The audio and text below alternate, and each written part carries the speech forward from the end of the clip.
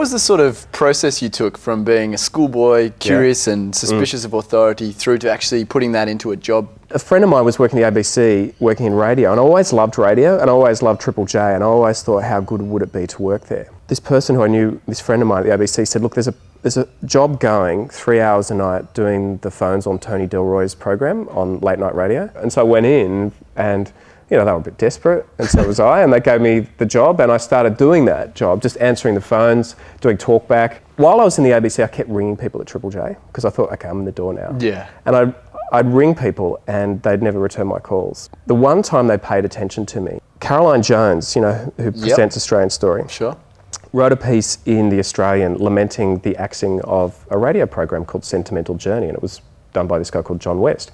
And he'd done the show for 50 years.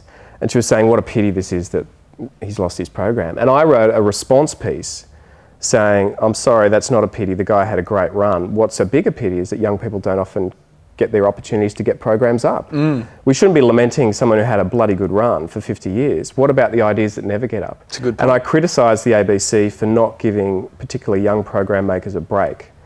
And I got stuck into management and they charged me with bringing the ABC into disrepute. And I had two warnings placed on my file. The next five jobs within the ABC I went for, I didn't get. But I kept working as a casual. But those people at Triple J who were ignoring me when I was making phone calls suddenly found out about me because I got these warnings on my file. And also they read the so article. does that rate as street cred in Triple Maybe J? Maybe it did. so it got, got their attention and before you knew it, I, was do, I did a one month stint up there. They said, oh, there's a gap here. Can you come and fill it for a month? So I got my foot in the door. What's the most difficult situation you've ever been in on air? When studios melt and they melt down, that's really difficult. You mean technically? Technically, or, yeah. yeah. Um, in commercial radio and a large parts of the ABC, you have someone paneling for you. At Triple right. J, that doesn't happen. You're paneling yourself. So when you're interviewing, you're watching the clock, you're in control of the faders, you're turning microphones on and off. You know, you're driving, and that's why. That's why when you first start in radio, it is so hard because imagine learning to drive and having a conversation with the person next to you. You can't do it. You're holding on to the concentrating on everything like that you've got going. That's what it's like when you first start in radio, because you're concentrating on this panel and you're trying to work that out and relax and be yourself on air. So it's really difficult.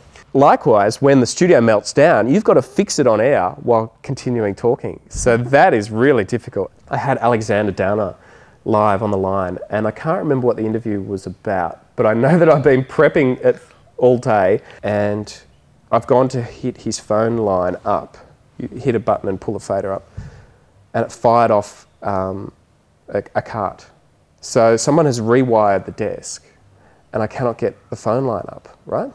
Now, you always have little safety nets in radio because you know that the worst case scenario, something's going to happen. So I always used to carry this little CD in, which had a story on it that was timeless, so we could play it at any stage. Now, the story on this CD was about a swingers club. Perfect so, introduction to Alexander Downer. so I've got Alexander Downer on the line. We're trying to get him him up. It's not working.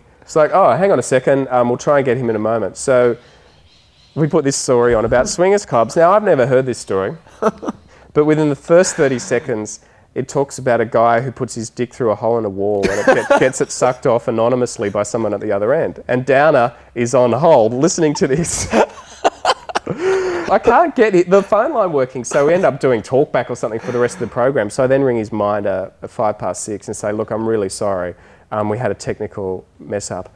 And his minder, who I have to say was a complete prick, yeah. um, just said to me, not because of this response, but just, just dealing with him in general, said, um, well, you're really blown your chance now, mate.